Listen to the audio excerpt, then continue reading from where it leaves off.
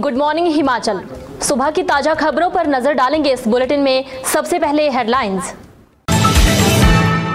this news bulletin is brought by Burma jewellers Solan the biggest jewellery showroom of Himachal Pradesh हाथों में मुख्यमंत्री प्रियंका गांधी के poster लेकर धर्मशाला पहुँचे कांग्रेस कार्यकर्ता। कैसे होगा इस विभाग में काम? 80 फ़ीसदी स्टाफ ही नहीं। खेत खलिहानों से 36 से भी अधिक जड़ी बूटियाँ जुटाकर मनाया यह महोत्सव। और अब खबरें विस्तार से।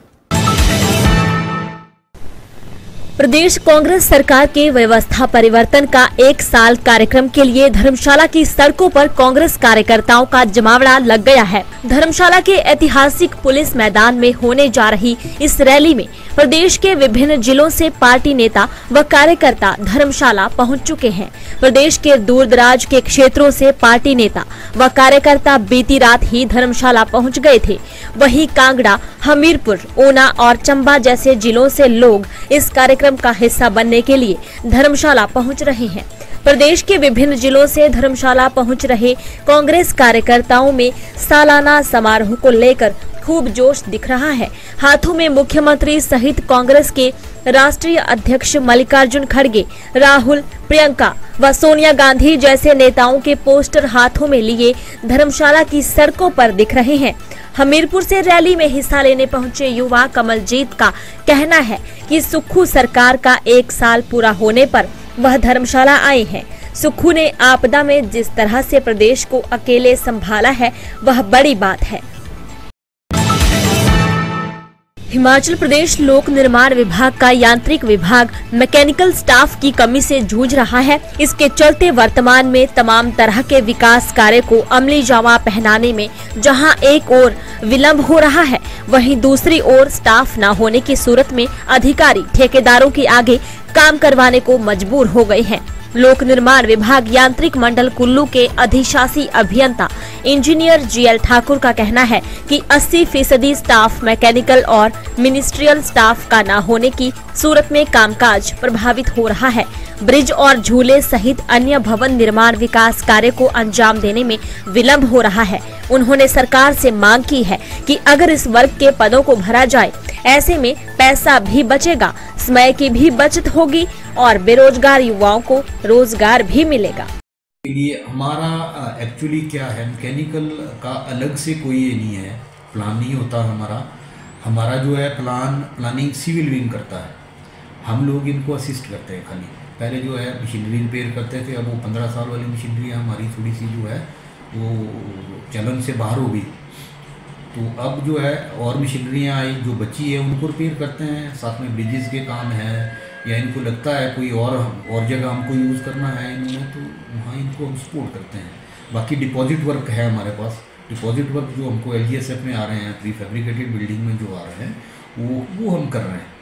वो जैसे हमने पहले बताया कि अभी मनाली में हमारा एक है बिल्डिंग है वेटनरी का एक मुहत्तर में है। रेड क्रॉस की बिल्डिंग्स के हमारे कुछ काम चले हुए हैं। हेल्थ की बिल्डिंग्स के काम हमारे कुछ चले हुए हैं तो इसमें बिज़ी है। अब लग रहा है मेरे को नेक्स्ट ईयर चौबीस में हम मैक्सिमम काम अपना कर देंगे। फिर उसके बाद देखेंगे कि भाई नया डिपॉजिट हम कहाँ कहाँ लेंगे कहाँ कहाँ हम अपने जो बचे हुए काम हैं, उनको हम प्रायोरिटी जिला बिलासपुर के घुमारवी उपमंडल की ग्राम पंचायत तलवाड़ा में दो दिवसीय च्यवनप्राश महोत्सव वैद्य अभिषेक ठाकुर की अध्यक्षता में मनाया गया। इस अवसर पर ग्राम पंचायत तलवाड़ा के प्रधान धनीराम वर्मा ने बतौर मुख्य अतिथि शिरकत की। डॉक्टर चंद्रप्रभा ने विशेष रूप से शिरकत की। कार्यक्रम का शुभारंभ भगवान धनवंतरी के सम्मुख दीप प्रज्वलन करके किया गया। चवनप्राश निर्माण उत्सव के बारे में वैद्य अभिषेक ठाकुर ने बताया कि प्रदेश में अपने आप में ही यह पहला ऐसा कार्यक्रम है जिसमें कि आयुर्वेद चिकित्सा को बढ़ावा देने की दृष्टि से च्यवनप्राश निर्माण महोत्सव मनाया गया। उन्होंने बताया कि च्यवनप्राश महोत्सव को बताने के प्रति करीब दो माह पहले से तैयारियाँ आरंभ की गई थी। इस च्यवनप्राश में प्रयोग की जाने वाली 36 प्रकार से भी अधिक जड़ी बूटियाँ खेत खलिहानों से एकत्रित की गई।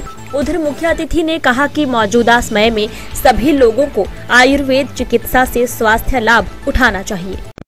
मैं वैद्य अभिषेक ठाकुर, मैं आयुष विभाग में यहाँ जिला बिलासपुर के जो हमारा ये स्थानीय पंचायत है, ग्राम पंचायत तलवाड़ा के अंतर्गत एक आयुर्वेद स्वास्थ्य केंद्र ढटो जो है, वो वहाँ पे मैं सेवारत हूँ।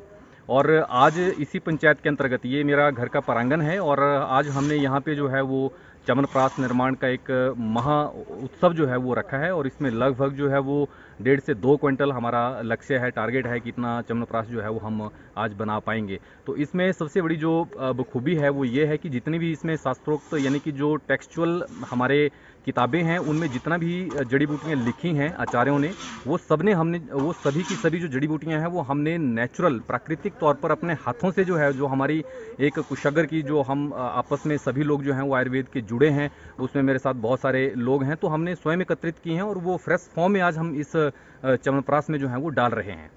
तो ताकि अल्टीमेट शुद्धता के साथ, बिल्कुल प्योरिटी के साथ जो है वो एक चमनप्रास का निर्माण किया जा सके और लोगों को उसे हम दे सकें। मॉर्निंग बुलेटिन में इतना ही, बने रहे दिव्य हिमाचल टीवी के साथ।